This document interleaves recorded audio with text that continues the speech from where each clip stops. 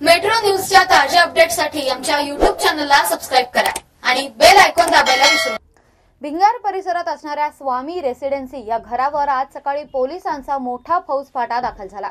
एका दरोड्याच्या गुन्ह्यातील आरोपीला अटक करण्यासाठी पोलीस आले.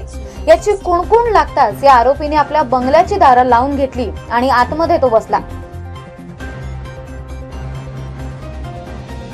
शेवटी आठ तासांच्या अथक प्रयत्नानंतर पोलिसांनी बंगल्याचं दार तोडून आरोपीला अटक केली. लॉरेन्स स्वामी असं या अटक केलेल्या आरोपीचं नाव आहे. स्वामी विरुद्ध भिंगर पोलिसात दरोड्याचा गुन्हा दाखल झाला होता. वारंवार घराबाहेर राहून पोलिसांनी आवाहन करूनही स्वामी बाहेर न आल्याने अखेर पोलिसांनी दरवाजा तोडून त्याला अटक केली आहे. प्रतिनिधी प्रसाद शिंदे ब्युरो रिपोर्ट अहमदनगर.